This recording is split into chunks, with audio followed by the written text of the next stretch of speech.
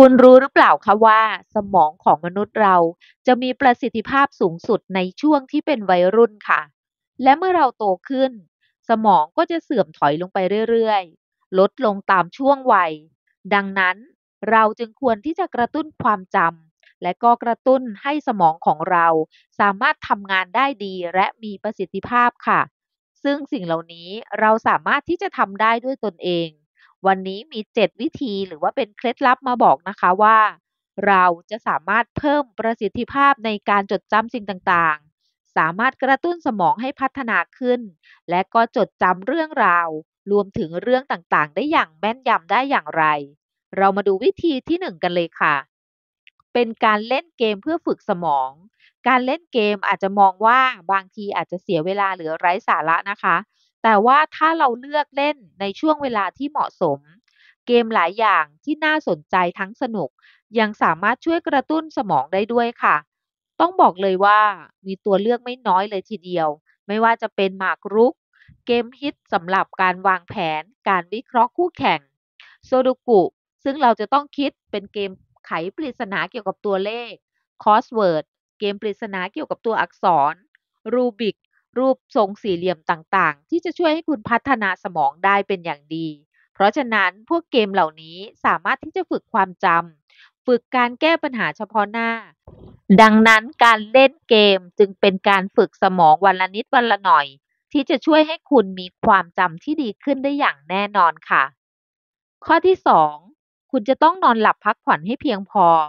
ข้อนี้เป็นเคล็ดลับที่จะดูเหมือนง่าย แต่อาจจะทำได้ยากสำหรับบางคน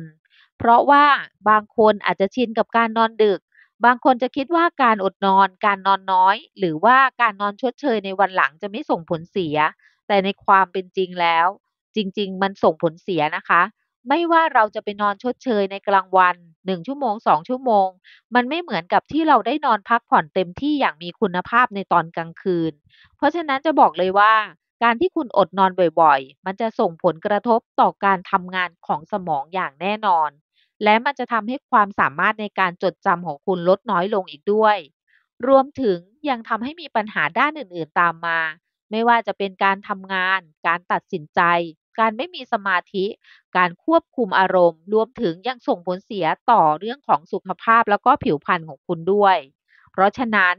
คุณไม่ควรที่จะอดนอน คุณควรจะพักผ่อนให้เพียงพอ ถ้าเกิดว่าคุณอยากเป็นคนมีสมองดีค่ะ ข้อที่ 3 คุณจะต้องใช้ประสาทสัมผัสทั้ง 5 ในการเพิ่มประสิทธิภาพในการจดจ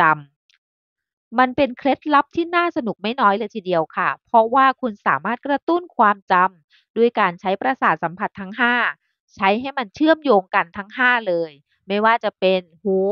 ตา จมูก ลิ้น แล้วก็กายสัมผัสสำหรับการจดจำเรื่องราวต่างๆ หรือว่าความรู้สึกความประทับใจที่เชื่อมโยงไปยังสถานการณ์ เหตุการณ์ที่เกิดขึ้นหรือว่าประสบการณ์ในอดีต ว่าการสัมผัสที่ได้รับนั้น มีเหตุมีความคล้ายกับเหตุการณ์ใดบ้าง แบบไหนบ้าง หรือว่าคืออะไรกันแน่ สิ่งที่คุณเคยได้เห็น สิ่งที่คุณเคยได้จำกลิ่นน้ำหอม การจดจำจะทำให้คุณจินตนาการได้ ซึ่งสิ่งเหล่านี้แหละค่ะ มันจะเพิ่มการอ่าทำงานของสมอง สมองจะจดจำจากกลิ่นหอมๆที่คุณประทับใจ จดจำจากภาพสวยๆที่คุณมองเห็น จดจำจากสิ่งที่คุณได้สัมผัสรู้สึกนุ่มนิ่ม หรือว่ารูปทรงต่างๆ สิ่งเหล่านี้เขาเรียกว่าการใช้ประสาทสัมผัสเพื่อมากระตุ้นให้สมองของเรามีการจดจำที่ดีขึ้นนั่นเอง เพราะฉะนั้นสิ่งนี้หรือวิธีนี้การใช้ชีวิตประจำวันของคุณ ก็เป็นสิ่งที่น่าสนใจที่จะทำให้พัฒนาสมองไปได้เช่นเดียวกัน ต่อไปข้อที่ 4 นะคะ นอกจากนี้คุณจะต้องมีการทบทวนเพื่อที่จะจดจำได้ยิ่งขึ้นไปอีก เรื่องบางเรื่องหลายครั้ง เราก็จะกดดันตัวเองว่าต้องจำให้ได้ต้องจำให้ได้ทั้งหมด แต่บางครั้งเราอาจจะเกิดความเครียดจนเกินไป ถ้าเกิดว่ามีการกดดันตนเอง เพราะหนึ่งในเคล็ดลับนี้ก็คือว่า คุณจะต้องมีการเว้นช่วงบ้าง ไม่ใช่ว่าจะอัดความจำให้กับตัวเองในช่วงนั้นเพื่อให้จำได้แต่อย่างเพียงอย่างเดียว คุณเว้นช่วงเพื่อให้คุณรีแลกซ์ให้สมองของคุณผ่อนคลาย เสร็จแล้วหลังจากนั้นคุณค่อยมาทบทวนเรื่องนั้นซ้ำเป็นรอบที่2ก็ได้ รอบแรกคุณอาจจะมันดูมันแค่ผ่านๆอ่าเข้าใจมันแค่แบบผิวเผิน แต่พอคุณมาทบทวนซ้ำคุณจะสามารถเข้าใจเรื่องนั้นมากยิ่งขึ้น ยิ่งถ้าคุณมีเวลาคุณสามารถทบทวนเป็นรอบที่3รอบที่4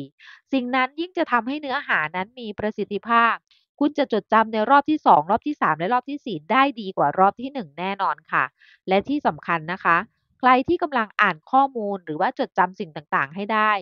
ลองกำหนดช่วงเวลาอ่าแล้วก็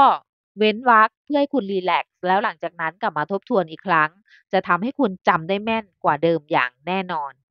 ข้อที่ 5 คุณต้องแบ่งชุดความคิดนั้นออกเป็นชุดเล็กๆ อาจจะเป็นการจดบันทึกหรือว่าเขียน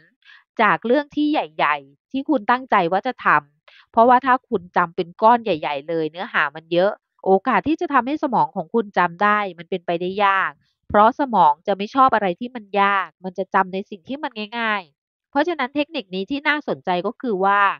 คุณลองแบ่งออกเป็นชุดเล็กๆ โดยปกติแล้วคนเราจะจดจำเรื่องเล็กๆ ได้ ไม่ว่าจะเป็นรายละเอียดยิบย่อย เราจะจำได้ง่ายกว่า ดังนั้นคุณลองนำมา ส่วนเนี้ยมาพัฒนาในการในการที่ทำให้สมองของคุณจดจำมันจะมีประสิทธิภาพมากยิ่งขึ้น ยกตัวอย่างเช่น ถ้าเกิดว่าคุณต้องการจะจำเนื้อหาข้อมูล1หน้า หรือประมาณสัก 30-40 บรรทัด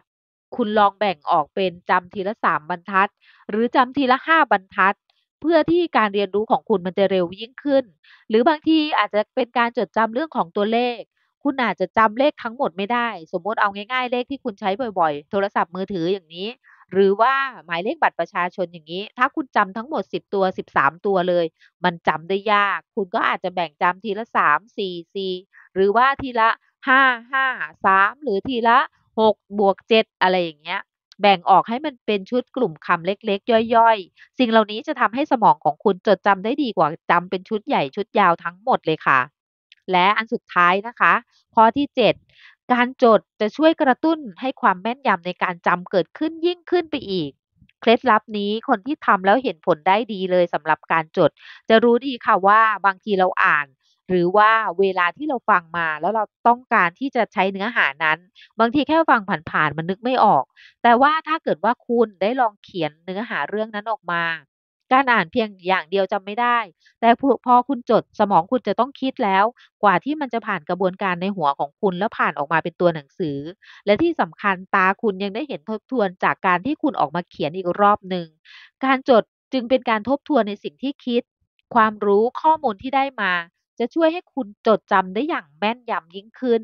ยิ่งการอ่านผ่านตาเฉยๆ มันไม่ดีพอเท่ากับการที่คุณเขียนออกมา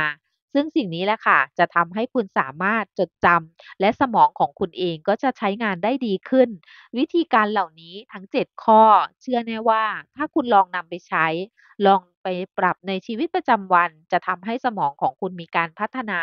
ทำงานเป็นระบบระเบียบมากขึ้น แล้วก็สมองดีและจดจำสิ่งต่างๆ ได้เป็นอย่างดีนั่นเองค่ะขอบคุณสำหรับคนที่ชื่นชอบในการพัฒนาตนเอง แล้วก็เข้ามาติดตามในช่องพอดแคสต์ครูเก๋สเตชัน ขอบคุณยิ่งกว่าสำหรับคนที่กดติดตาม และถ้าคุณอยากให้ลงเนื้อหาเกี่ยวกับอะไร หรือมีข้อเสนอแนะ มีข้อคอมเมนต์ สามารถพิมพ์เอาไว้ใต้คลิปได้เลยนะคะ ครูเก๋รออ่านคอมเมนต์ของทุกคนอยู่ค่ะ สวัสดีค่ะ